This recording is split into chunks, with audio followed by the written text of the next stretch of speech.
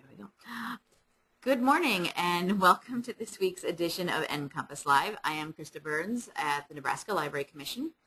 Um, NCompass Live is the Commission's weekly online event where we ho- I'll cover NLC activities and any sort of anything of that may be of interest to Nebraska librarians, as far as we're concerned.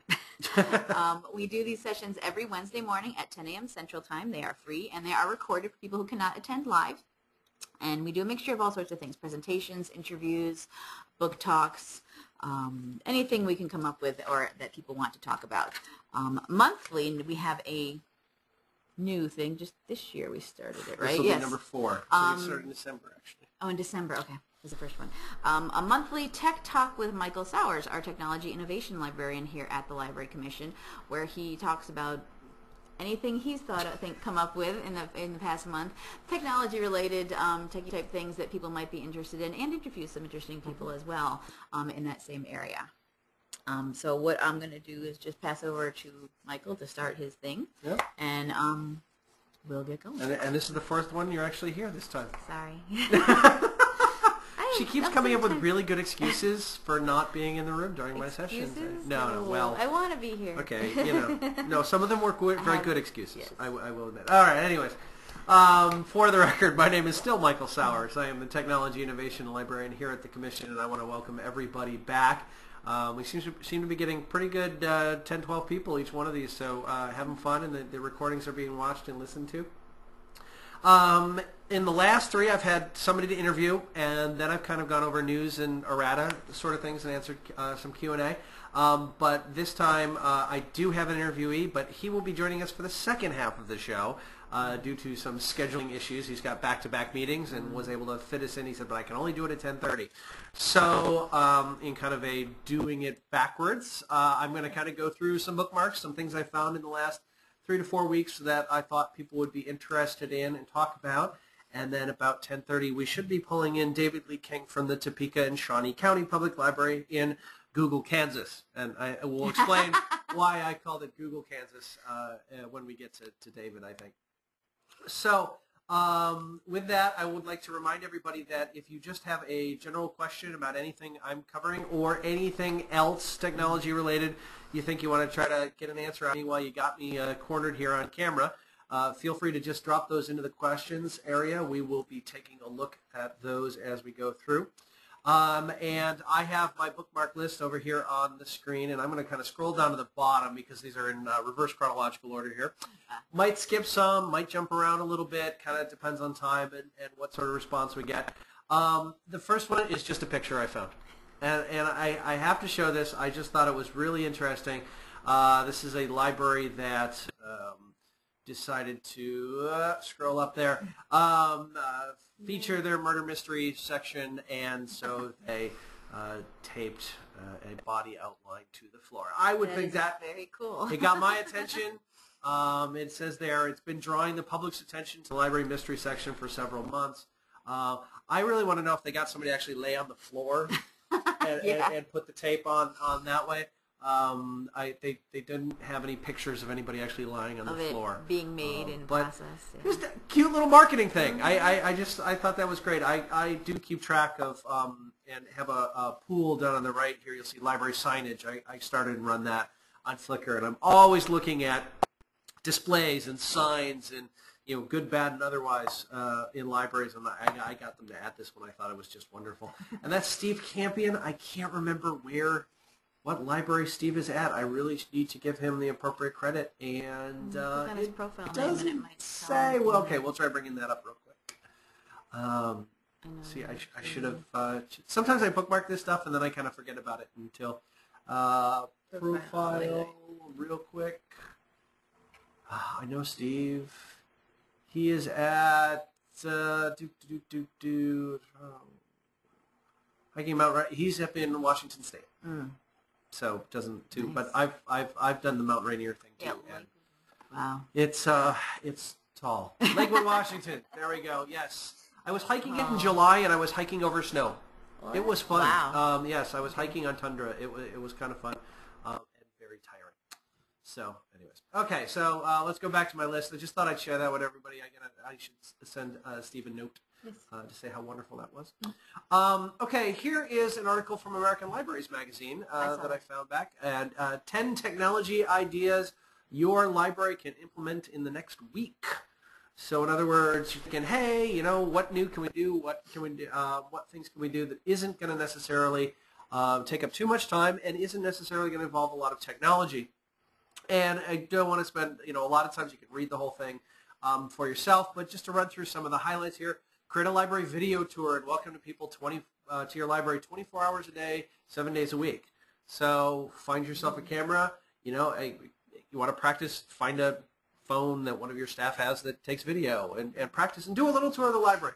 Put it up on YouTube, post it on the website, keep it to under 10 minutes, and, you know, uh, let people know uh, what they can find in your library. Yeah, if you want some ideas, I've seen lots of these on just on YouTube. You can go on YouTube and just do a, a search for like library tour, and you'll Mhm. find other libraries that have done this too. Yes, yes. Some very amusing ones. Um, look up zombies and, li- and libraries. You'll, you'll see some other ones. Um, use SMS to send patron alerts and notifications. In fact, I've got another little uh, article kind of dealing with that. SMS or simple messaging service, text messages. Um, a lot of libraries are starting to do that. Um, and you don't need extra software for this. You can, um, all phones that get text messages, there is an email address that matches. So if you know their phone number, uh, you can send them an email to their phone as a text message automatically. So if your system offers uh, notifications via email, if you can figure out, hey, would you prefer to get it on your phone instead of on email, uh, you can kind of do that. Information, that contact information. Um, and I'll just highlight the third one here and, and then let you read the rest of the article. Um, if you have a blog uh, in your library and you're thinking about that whole Twitter thing, we've kind of talked about this one before, but you know, don't you know, repurpose the content. You can have your blog posts automatically go out to Twitter without any additional work beyond setting it up, which should take you maybe two or three minutes. So there are services out there that will do that. So um, if you've you know you're already putting the content out in one method, you can easily port it to another method without causing yourself a lot of work. So that's just the, the first three of ten really great suggestions here. Um, I remember putting that out, this out, I think, on the uh, commission blog, or maybe it was my blog. I don't remember. One of the maybe it was the ITARD blog. I run too many blogs. Anyways, uh, and I got several comments back saying thanks. That's a great list. Um, a lot of lot of really good uh, ideas there to play with. Okay, so let's go back to my list.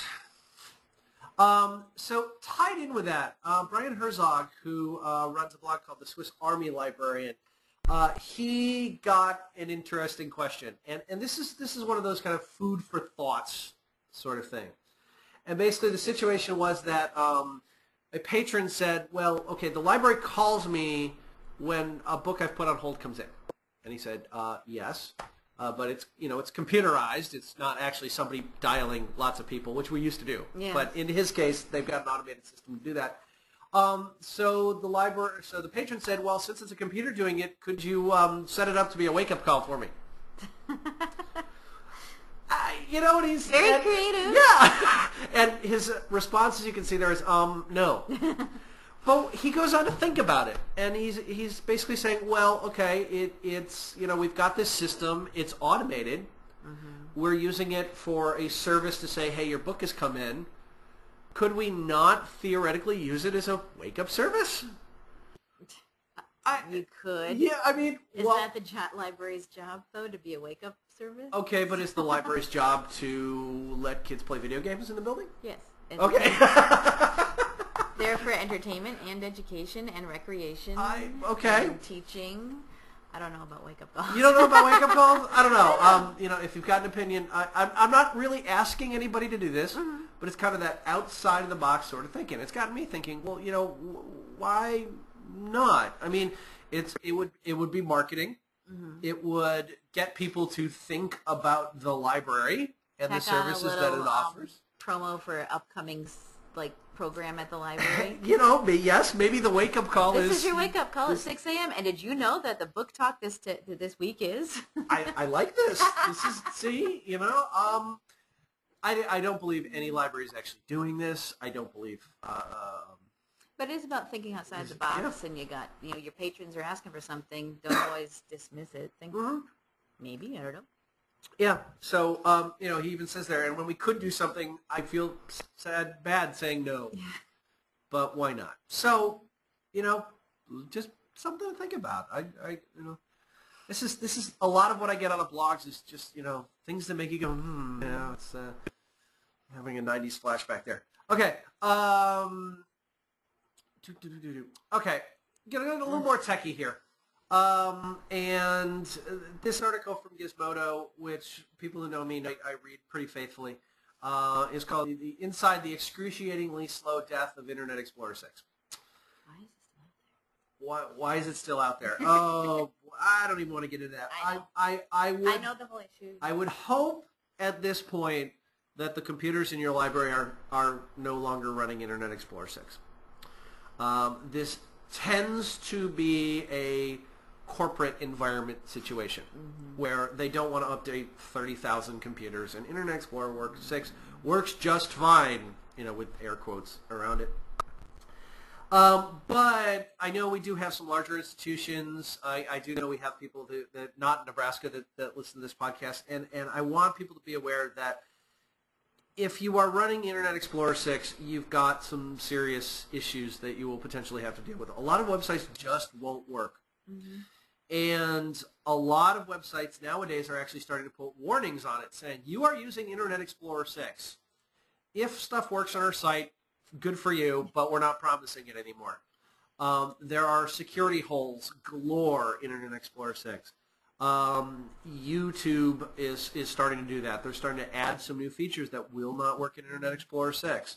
Um, it does not support a lot of features, and this is just something that um, if you've got it and you're not in control of upgrading it, well, first of all, if you are in control of upgrading it, upgrade it yesterday.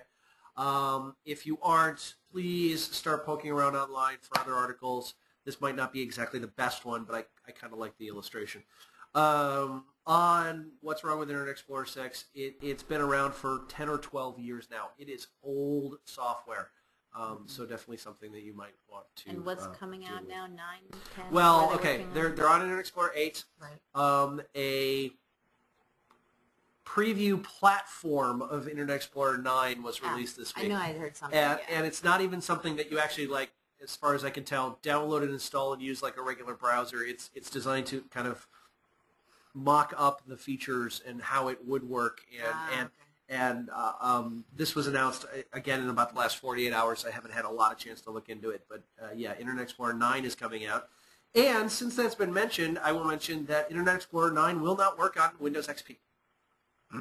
They, they, they're, Okay. they're, they're cutting off Windows XP there. Um, and I have another article about Windows XP and, and Okay. security holes because I don't know who we might have in the audience still running Windows XP. Um, but, oh darn, there's been another security vulnerability found. And of course, this one applies pretty much only to Windows XP. Ah, And it involves the F1 key, okay. the help key. oh, nice. In most Windows programs, you press S1, F1, and it opens the help file. Uh-huh. Okay. Um, it turns out that in Windows 2000, Windows XP, and Windows Server 2003, which are all very old pieces of software at this point, um, if you get a message from a website that says, please press F1 for help, this can uh, actually allow people into and infect your computer and take it over.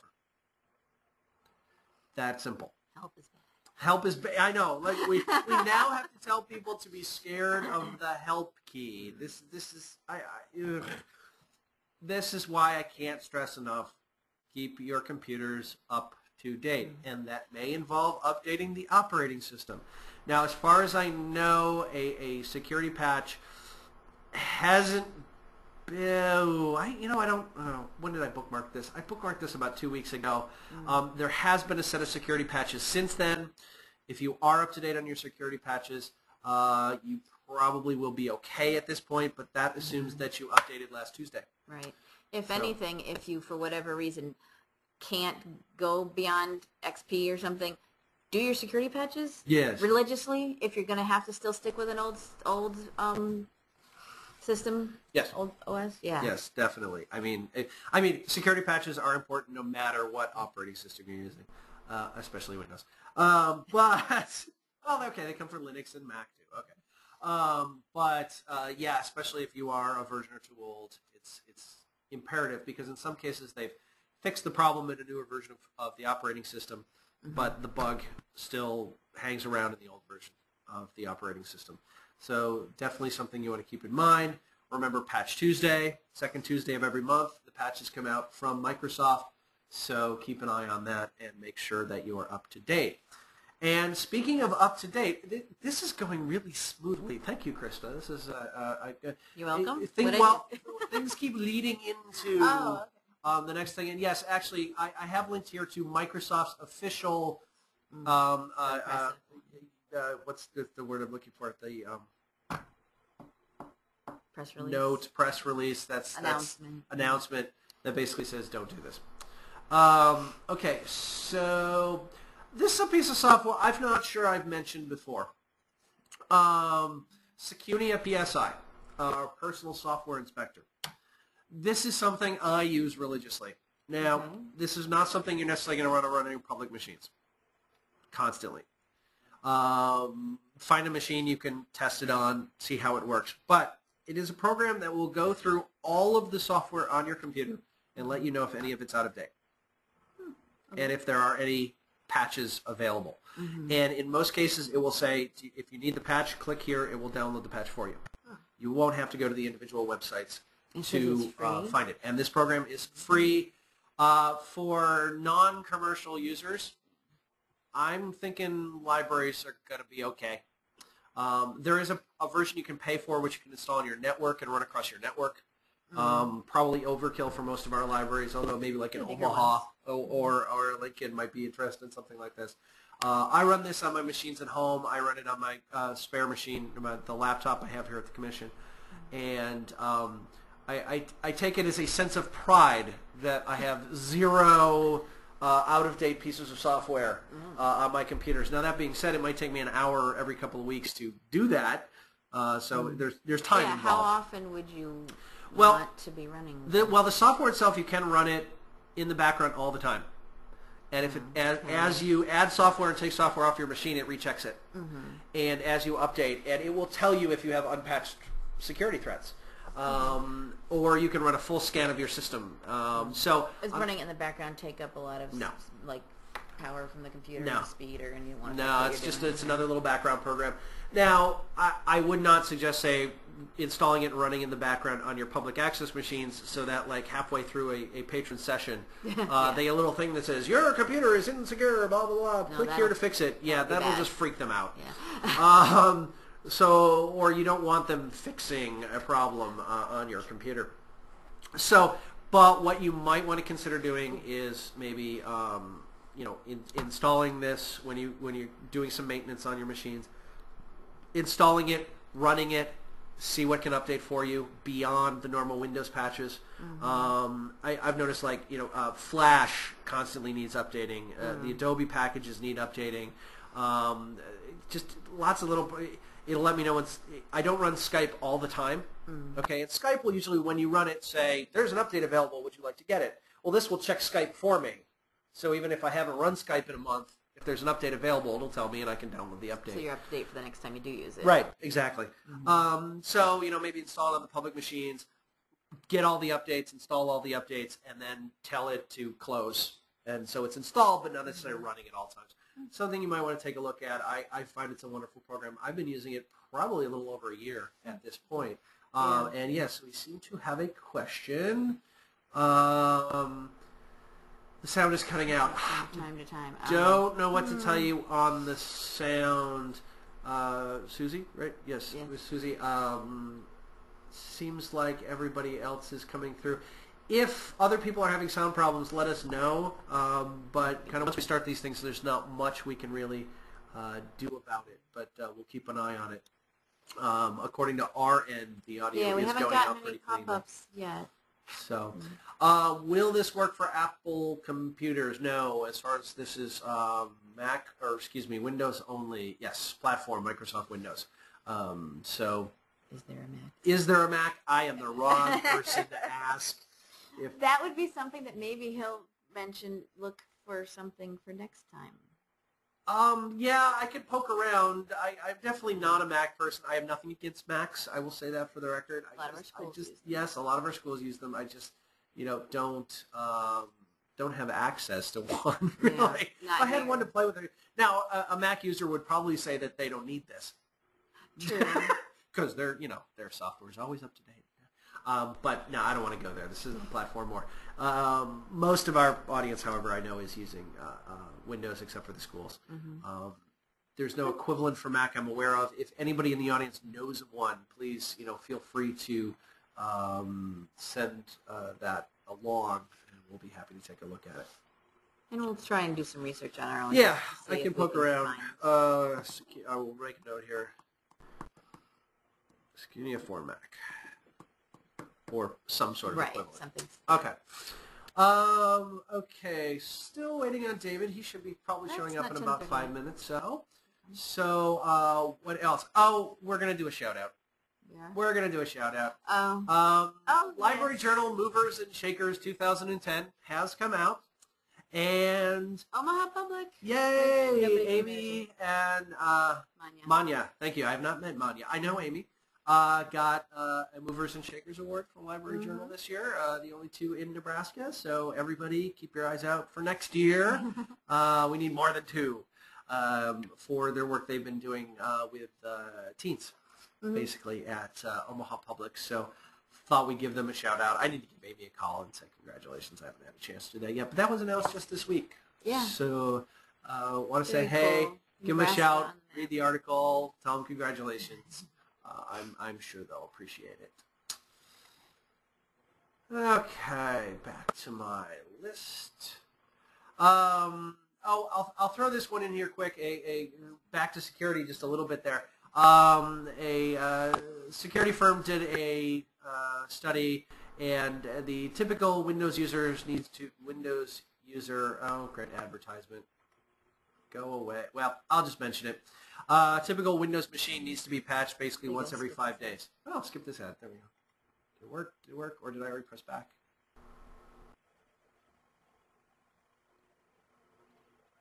Okay, we are we are um, we are crashing our browser. Yay! Oh, there it is. There it goes. Typical Windows user patches every five days. So, you know, yeah, there we go. Um, so when I say you should be patching once a month, um, don't complain too much um, because according to the study, you're probably supposed to be patching every five days. But they don't come out with stuff. well, not from Windows. I mean, from all of the software that you may Oh, have on your machine. oh, machine. everything, not just Windows. Everything, Oh, it kinda averages out. You have to patch. Yes, it, it Mhm. averages out that there is something that Like you should probably be updating patching. Adobe, updating Yep, Java. exactly. Every five days. Doesn't seem like that. So, you well, know, sometimes it's so easy because it just pops up and saying needs updating. Okay, fine, click. Yep. Boom, I'm done. I mean, it's not really. run Secunia and you you'll see all the stuff out. you're missing. Yeah. uh, Yeah, I don't know exactly. I want to now. Okay, uh, I do see we do have David on, but there are two more things I, I really quick want to mention.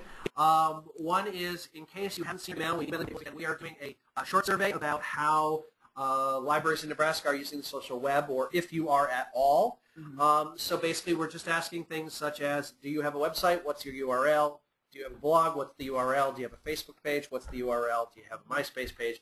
Etc. We're just trying to collect that data, see what people are doing out there. We're going to create some lists out of it, things like that. We have a web Um, page that we've had for I'm not sure how long, but that lists any libraries that we did know of that had things. Mhm. Um, but we realized not a lot of them we didn't know. We have everything. incomplete information. And we, you know, we hear anecdotally or we find, oh, so and so's got a Twitter, so and so finally set up a Facebook page. We decide let's just do a more organized um, thing and um, just ask. Let us know. This is not a requirement. Just if you have one of these, let us know, and then we will. Um, it'll link to the um, page where we keep track of it. and You'll be able to see what all the other libraries in Nebraska are doing and check out theirs if you're interested in Twitter or Facebook, so whatever other people are doing um, to get your own ideas. Yep. Okay. Um, I am going to attempt here. We have uh, David Lee King. I am unmuting your mic. David, can you hear us? I can. Can you hear All me? right. I we can hear you just fine. In fact, though, I think we need to turn up our own speakers. But um, oh, there we go. That's better. Yay. Yay. Okay, so I'm going to switch over here to the homepage of the uh, Google County uh, Public Library. Uh, well, I, th- I think we'll ask it about that in, in a minute. Oh, I had not noticed. But um, so, David, you're you're a little pressed for time, I understand. So I, I really appreciate you for uh, being on the show today. Um, can you Yeah, tell no us a little bit? Uh, yeah, can you tell us a little bit about you, your library, and what you do there? Sure. Um, today I'm going crazy. Um, yeah, David King. I am the Digital Branch and Services Manager at Topeka and Shawnee County Public Library. If you translate that, that means IT Manager, um, Project Planner, and in charge of all of our web services. So I've got staff under me that build and code and stuff like that, and I'm more the the long range planner, the vision guy. This is where we want to go, make it happen type of person. That's what I do in a nutshell. Okay, great. Um, so there's several reasons I wanted to talk to you. And, and full disclosure, Chris and I both know David uh, quite well. We meet up at conferences and everything. Um, and and so some of these are loaded questions. We already have the answers, but we we, we thought we'd Okay. share. Um, the okay, you know, I'm going to throw this out here. I didn't ask you this one ahead of time, but what what's with the Google logo over Topeka and Shawnee County? Yeah, sure. Um, some of you might have heard of the Google Fiber contest that Google is doing right now. I guess you could call it a contest. Basically, Google has said we want to install extremely fast internet access, um, like like if Japan, which has about the fastest internet access in the world, is a, a 10, what they want to install is a size 25 um, Google Fiber thing and they are asking cities to tell them why they should do it in their city. And so Topeka has sort of taken that and run with it like crazy. Um, our mayor has unofficially renamed Topeka, Kansas, Google, Kansas for the month of March. So we thought we'd follow suit and remove Topeka from our logo and put Google over it just for kicks. Actually, yesterday we, we have a big um, foyer grand entrance hall. We renamed it the Google Dome yesterday, just for kicks. We have a sign up there that says that. Um, and Topeka is actually taken this up, um, and they're having a whole lot of fun with it. This Saturday, we've got a, a planned event to have 500 or 1,000 people in white shirts. Um, I think spell the spell Google with people in a park. Um, they have a Facebook page that probably has about 20,000 people that are that have fanned it now. Um, so lots and lots of activity, whether we get it or not, whatever. That'd be cool if we did because we, you know, everybody would have faster internet access supposedly. But it's really shown how social networking, social media tools can really draw people together in a community and have us focus on one purpose and get it done. And we've gotten international exposure through this, so we're doing something right. Yep. Yeah, I, I think I saw a video online where another town, in response to you renaming Topeka Google, um, said that all firstborn children coming up were going to be named Google or something. I, was- yeah, um, That's hilarious. And, and for the record, I do believe Omaha is trying for Yes. this also. So I, Omaha is also looking is in competition with you. They've got a Facebook page. Yeah. yeah, I don't, I don't, so I don't know. I don't know if we're allowed to root for you. Yeah, well, but we'll you, see what happens. Midwest rivalry. yes, well, if you get it, I'm coming to visit. So, Yeah. Yeah, definitely. so, so, See them later. So with that, I we, we do know that at your library, uh, with uh, especially with you in, in charge of it, are doing a lot with social media on on the library website and through the library. What what sort of things are you doing uh, with social media to to um, get people to come to the library, promote the library, that sort of thing? Sure. Well, on our website, we obviously we have comments pretty much everywhere. A lot, a good chunk of our website is blog based, so staff can write an article about something, and then people can comment on that, uh, which we do get comments. Yay. We have instant messaging and text-based um, ask a reference type services like many libraries do. Um, and that's on the website. Oh, we also post videos. Off of the website, we have um, social media tools like a Facebook page that's, well, a few Facebook pages actually that are very active. Um, we are actively using a Twitter account. Our videos, we always post, pretty much we always post them into YouTube and then embed them on our site, so we're in both places. We have a very vibrant Flickr account. Um, we're getting a lot of people seeing, we, we have an art gallery as part of our library that's pretty well known regionally, and we post our art in there, our whatever we're showing in the gallery, and we have people commenting on that saying, that's cool. Um, can I do this? We, we've actually gotten people to donate us stuff from photos in Flickr that we wanted, actually. Um, so lots of, basically we have a lot of conversations going on in many different places. Um, I'm not so much interested in drawing people into the building necessarily because I'm a digital branch manager. If they're hitting my Facebook page and doing stuff there and asking questions there, they are in my library. That's how I view it. Yeah, that, that's a great the library attitude. isn't just a building anymore. It can, it's Yeah. more than that. Yeah. Yeah. So how you said you know staff can write an article. Um, what what sort of rules, policies, guidelines? Cross your fingers and hope nobody does something wrong. Sort of. Yeah. Uh, so that when, when, how how do you run that? Yeah. Um, well, first of all, I, I sort of treat that part of my job as I'm the executive editor, so I can jump in and edit, delete, remove, whatever, anybody's stuff at any time. I've never had to do that, of course, but I could. Um, basically, we're, we're set up um, with a lot of what we call subject guides. A lot of them will match um, our physical collection. We're moving our hood. We stuck all of our travel books from the various call numbers into that one section, put signage up, put a globe over there. It's our travel neighborhood, right? And so mirroring that on our digital branch is a travel blog or a travel subject guide. The person who's sort of in charge of babysitting the travel neighborhood is in charge of the subject guide or the blog.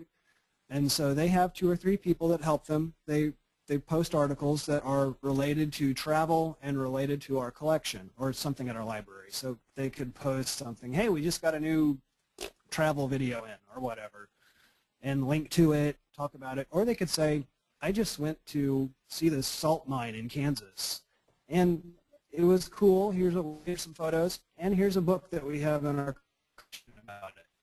Um, same with our art gallery. They might say, hey, we've got a new gallery exhibit coming. Here's a sampling of it. Here's the time and place. Come see it. So it's it's that kind of stuff. So it's not just willy-nilly anybody posting about what they whatever they want. They they tend to have a focus. Um, myself and a few other people are one of our um, web developers and a person in marketing will teach classes on how to write for the web and how to write in order to get people to participate in that discussion that we're hoping to get. So we, we do have some pointers like that. And that, that's sort of what we're doing in that way. That sounds yeah. I, I I'm glad you haven't had problems. Yeah.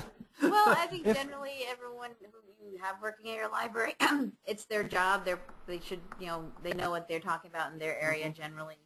So Right. hopefully, if you'd hire the right people, you know that they can do what they need to do. Well, Um, yeah, that's it. Yeah. So, so let me ask you about a, a, a particular situation I know that's happened. I, I think it was in the last year, but maybe a little longer because I, I, I do know some other folks who live in Topeka. Um, you guys didn't used to have fines. Is that correct? Right. Yes. And- we haven't had them for 40 years. And and you recently, last year or so, implemented fines. Yep. Um, how did you? I, I'm assuming that not everybody was happy with this decision. Um, how how did the digital branch? How did the social media handle that? Help, hinder, make it easier, make explain it. How, how did how did the social media work into that situation? Sure. Well, um, we we used it in a number of ways. We I think we posted a video explaining what we were doing. We also posted a handful of blog posts or articles discussing what we were doing, why we were doing it, and you can actually somewhere on our website you can find a blog posting with about 120 comments on there. Um, not all of them kind. In fact, in one of them they called me a sarcastic library Nazi. It was sort of fun. And, and they called Gina, our Millsap, our library director, names too. Um, and actually, that's a very good example of what happens when comments go bad on our website. Um, Yeah, I don't know if I can help you find it at the moment, but I can send you the link later maybe. Um, so we had some nasty comments, and they were getting a bit personal. So another part of my job is stepping into that conversation and putting it back on track. I, in essence, had to tell the person through a private email and through another comment post, I had to say, hey, um, let's keep the focus on the topic at hand. You're getting too personal. If you continue this, I will delete your comment and block you from our website. Um, so I, I told them that both in an email, because they, they actually had sent me their email address as part of our our comment, just like most blog posting comments work. And also, I, I did a post, a public post, just to let everybody know. And they, they pretty much abided by that. I didn't have to block anybody, but that's an example where it's getting personal. I had to step in as executive editor or digital branch manager and say, hey, let's remember to play kind with each other, be nice. Um, and I had to do that a few times it was pretty interesting. Mm-hmm. So you're not.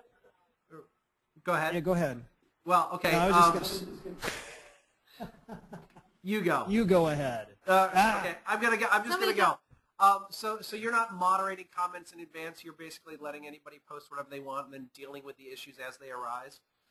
Yes, definitely. Um, if we moderated comments, I love my staff, but some of them probably wouldn't get around to answering that comment until a week later.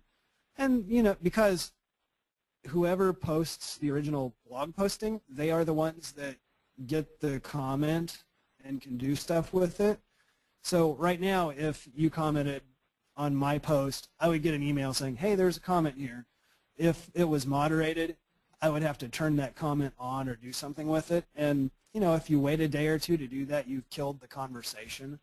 So yeah, we, we have a little bad word blocker that changes, you know, into little squigglies. And then other than that, we let it go and deal with it after the fact. Um, are, are, And honestly, it was great in that particular posting and, and a few others because we could just say, hey, this person said this, they're incorrect, here's the right information. And I love it when people say something bad or wrong on our website because I am in complete control of that. I can take time, I can meet with our library director and say, what do we want to say here? And give the correct information once and not worry about a newspaper editing what I said down or something like that. So it's, it's wonderful, I think. that are wrong or bad because sometimes you might not even have realized that people were thinking the wrong information until they said something at you through the blog or through something. Um, so bad comments. Yeah, good. definitely. and Uh-huh, definitely. what? j- Technical question for a moment. What what software is running your website? What, what are you using to on the back end of, of the the blog? Yeah. Right now it's Expression Engine. It's a CMS. It's at expressionengine.com. It's similar to Drupal. Um, so an, another area I wanted to talk about because this is what, what actually prompted me to, to, to ask you to, to be in on this call was, was a blog post you wrote on your blog, uh, davidleeking.com. And I will just point out that the, the, the tie-in here is that notice he, he runs the blog for the library, but he also has his own personal blog, which, which is a scenario I find myself in daily. Um, and you had some opinions on, on personal accounts and work accounts. And I've, I've heard many a discussion as to, well, you should, you know, definitely keep those two completely separate. Some people say it's totally impossible. Um, where do you draw the line? What, what, maybe you could kind of tell us what you were getting at in this blog post with, with that concept. Yeah, sure. Um, uh, first of all, I'll just say up front, I draw the line at always just being David Lee King because I can't be anybody else. really, that's just how I personally work. Um, and I don't want to keep track of that many passwords and usernames and be like, oh, this is my personal one, this is my work one. It just gets confusing. I hate having two email accounts. I'd rather just have one, but whatever, I have to deal with that.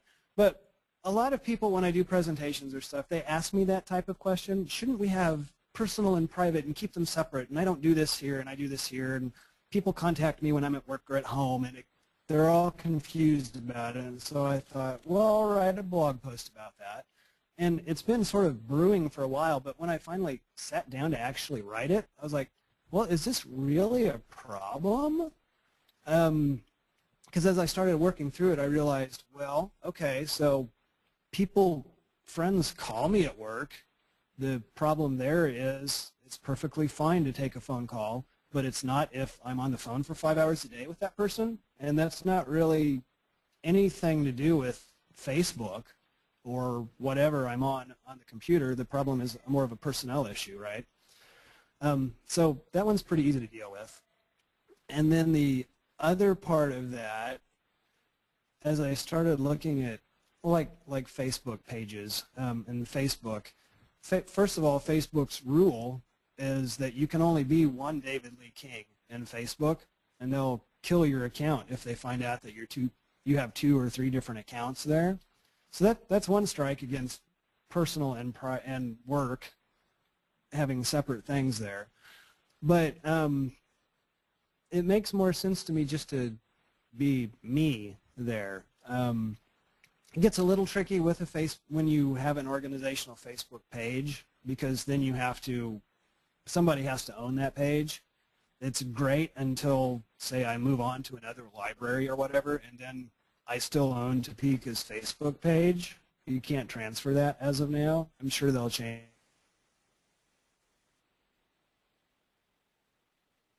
Oh, I think we lost David's audio. Oh, can you hear me? Okay, you're back. All right. All right. Um, so that's sort of where I fall on that.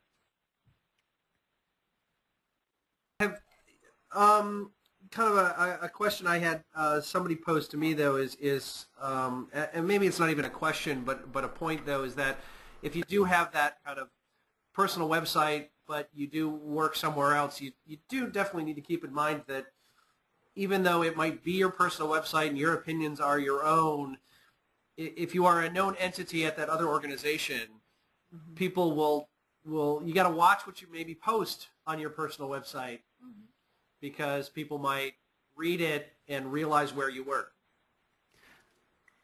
Right. is that yeah. a bad thing? Well, well, you, I think it I is if you're saying bad things. Well, yes, that's that's true. maybe the point. Is, right. Is, and it goes. I think it goes on with what David said about how your friends call. I mean, there's always been a crossover of work and personal. You go to the grocery store, and if you work at a public library, someone's going to come up to you and say, hey, I have a book at the library, or do you guys have this? They're going to do that. Um, you yeah. as a person are going to go to a store and shop and buy something, and someone's going to see you. Um, you're going to go to a concert for possibly a musical group that they don't like, but you do, and they're going to see you there. It's just always been there. The fact that now it's online, I don't, I don't personally see the difference. Uh-huh. I've always tried to control what I do out in public in general because anyone yeah. can see you doing things, you know. Um, same thing online. Take the same idea of, yes, I like so-and-so band, and I'm going to say I'm a fan of them on Facebook. People who work with me will see that too, but you know what? Yeah. Mm-hmm. and yeah, so. So, yeah, exactly. Yeah, you know, yeah, so I'm a person. And you can, Facebook does have an okay set of privacy filters. So you could say, these are my work friends. They only get to hear these things. These are my real friends. They get to hear more stuff. Um, you can set it up that way, you know, and you can set up Twitter to be private or public. Both of those do have issues, I would say, because you know, I'm friends with Michael and Facebook and, and Twitter, and if you set up your stuff to be private, I can still comment on that and say, ooh, Michael, so you really hate your job or whatever, and people would still see my thing. Right. And, you know, so anything you say on the web, even if you think it's private, probably not so much anymore. So I, I always tell people, well, if you wouldn't say that to my face, don't say it anonymously. Don't say it quote unquote privately because it'll get back to me anyway. I, I, I think that's a very good rule of thumb, actually. It's if you yeah. say it to my face, why are you saying it online? That, that that's that's right. a great way to put it. So I, I realize you, we have just a couple more minutes with you here, and I wanted to Yeah. to kind of um, kind of bring this back around just a little bit. Uh, you know, to to us, you're at a very large library. Uh, you know, Kansas has a lot of rural libraries too. Um, Yeah. I've, I've I've been to many of them uh, in past work of mine. But w- what would you say to say a smaller library? that basically you know it's great okay you you have you and you have a staff and and you know you're dedicated to it and you've got the time but you know it's like me and two other people and yeah i think this might be a good idea but you know what we just don't have the time to do any of this what what, what would you say to that person Um, I would say start slow, do one or two things, um, find out what people in your community are using, not people who regularly come into your library because they might hate, say, Facebook, but 80% of the people who live in your community that don't come into the library might actually be Facebook users. So find out what your community is using. You can, you know, search Facebook for Topeka and find out, oh, there are at least 3,000 people here using Facebook. Cool. Um, and then do what they're doing. So let's say it's Facebook, and I'll probably just guess that most people in most communities in the United States are using Facebook right now. It seems to be a pretty big thing. Just overtook Google, most popular site in the world. Um, use that. Just go in there, post the status update once a day, once every few days. It takes, you know, 10 minutes tops. That's not a lot of time. So you're not really going to be crunched for time just doing that. And then see what happens. Basically, that's what I would say. And great. In fact, I, I pretty much said that to somebody yesterday who, who called, or two days ago. Um, but Cool. I, I, I must admit, I, I missed the part of asking the people who aren't in the library. I, I, I Well, you know, I, I completely agree with you. Yeah, I, I've thought about that a lot because I've had, you know, reference staff saying, uh, I know who our customers are and they never use this or that. I'm like, so is that Joe who comes in every Thursday and reads sci-fi novels? Yeah. Isn't he 85 years old? Yeah. Okay, well, how about all the 25-year-olds that were at the bar last night that don't come in, that we want to come into the library? Oh, yeah. How about those people? You know, it's it's sometimes it's my digital branch customers aren't necessarily the people visiting the library physically, but they're still using the library. So, got to think of them too. Yeah, that, that's an excellent way to put it. Um, I, I just want to throw out there, we- we've only got another minute or so with David. If anybody has a, a question, uh, you can always type it into the, the Q&A area or, or give a hand raise. If you've got a microphone, we'll turn your mic on. Um, but in the meantime, David, I, I want to thank you very much for, for taking some time out of what sounds like a very busy day for you. Uh, We got lucky. meetings and meetings and oh by the way Yeah. another meeting uh, to, to, to give us a little bit of your time and a little bit of your insight what's going on and, and as much as I think I we have to root for Omaha we'll say good luck um, you're close enough you're you're close enough for a visit you get fiber to your house I'm, I'm, I'm stopping over uh, just to Definitely. try it out all right well I'm not seeing any questions so so David thanks a lot and uh, and uh, don't get too burned out on meetings the rest of the day All right. Thanks. See you Okay. guys later. Thanks, David. Yeah. Bye. Bye. So uh, everybody else is still here. Um, we've, we've got a few more minutes uh, to, to, to go on. I want to thank David again one more time uh, for participating. He's wonderful. I he, he spoke at uh, Lincoln City Libraries in. Service Day Last last year, yeah. Um, and had him over for dinner at the house, and, and it was uh, um, fun to do. So, um, not seeing any questions. I've got, I believe, just one or two other things I wanted to mention uh, off of my list as the, the time allows. Um, th- this is, um, uh, let me let me throw in a, a couple of fun things, and then Christa, I'll wrap it up with, with, with the FCC. Um, this this um, this one I heard about on NPR the other day. Um, I, What? I've got I've, I've I didn't I tell Chris about this one. Mike identified I, I've gotten questions about well, okay, we've got these public access Right. computers and we've got these, um, you know, these keyboards, and they get grungy, and you know, how do you keep them clean and disinfected and whatever? It's And disgusting. it, okay, it can be, I, and I've seen some keyboards of people who work here who eat over their keyboards. So anyway, there's all sorts of reasons the keyboard Yes. could be disgusting. I'm not implying anybody in this room. Anyways, um, but you know, if you've ever done the you turn the keyboard over and shake it out, you know who you are. Oops. Oops. Anyways, um, here might be another reason uh, if you are kind of one of these uh, um, um, super paranoid privacy people to, to keep your keyboards clean. Um, they have been able to swab keyboards and identify who the user of the keyboard is. DNA? Um, basically, well, it's not DNA, it's microbial. Um, because most of the bacteria you get near in your hands uh, and then you get onto a keyboard. Now, public machines might be a little different because you have lots of different people. many. But um, in, they did tests in an office situation and they were able to take keyboards from a bunch of offices and match them to the people. Wow. Um, so I, I just a little bit of science um, thought that uh, it was uh, an interesting uh, thing to do. Uh, we do have a question that came through from Karen. Has anyone prepared a class on Facebook, Twitter, etc., to teach adults what these social media sites are all about? Um, we've done classes to teach librarians. Um, I am pretty darn sure some you they libraries have, across yeah. the state have done classes for the public, if that's uh, what you're asking about. But I Yeah, can't she's from Barrett Public Library. name yeah. any off the top of my head.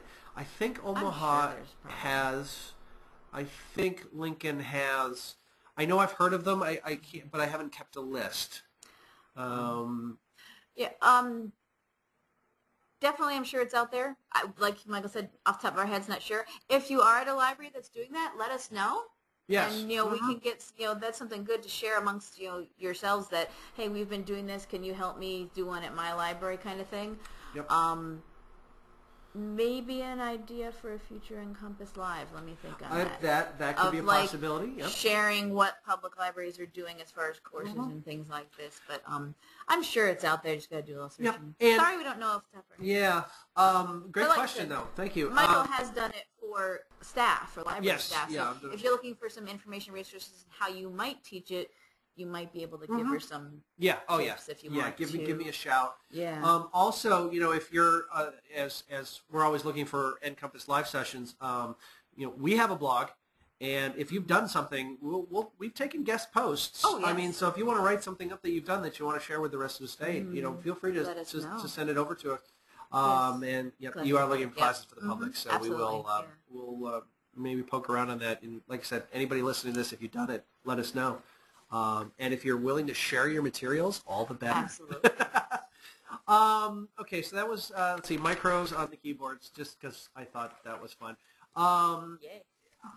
Switchback, Google's doing that project, and and I, I when I first heard about it, I, I I immediately went, ooh, here in Lincoln, and I couldn't figure out who I would talk to about this.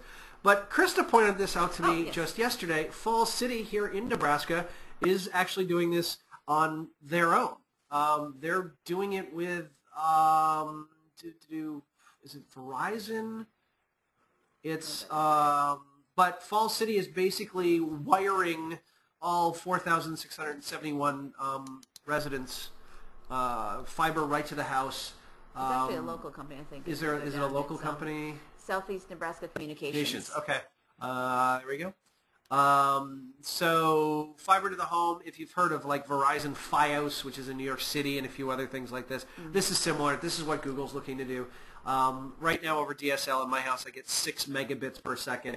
Um, they're going to be uh, offering eight uh, a, gigabyte a second to the house.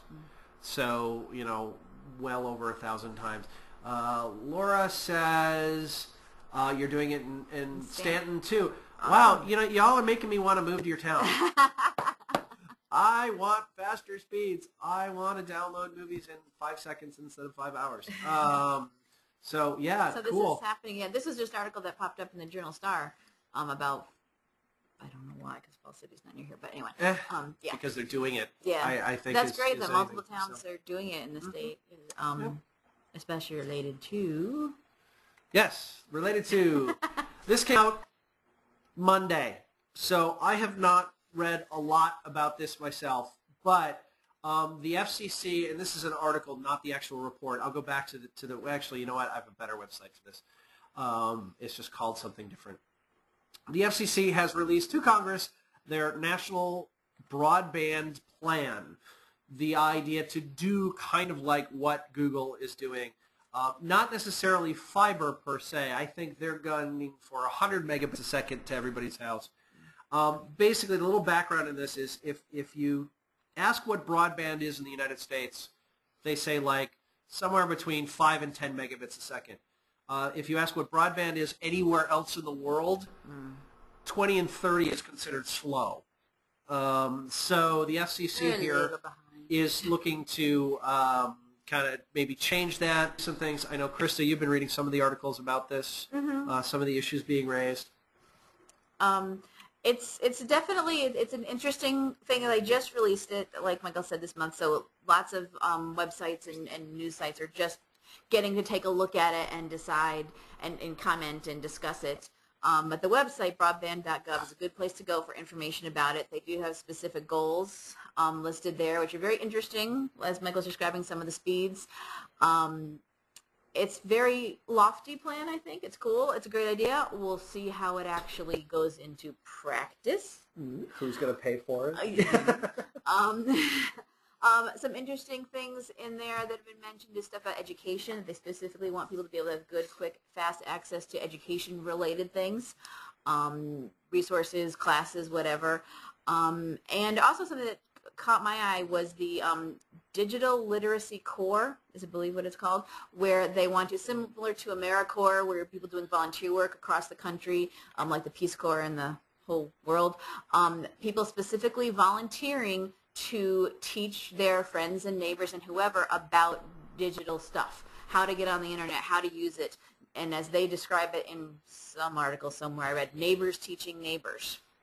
Um, cool idea. I think it's it's it's neat that you know having that kind of a organized uh, thing where people can volunteer to specifically do that. Um, one of the first things that popped into my mind was libraries are doing that already. I mean, as far yes, it does cost money for a library to be run and everything. and It's not volunteers; we are employees, but people But we can get paid uh, like volunteers. yeah.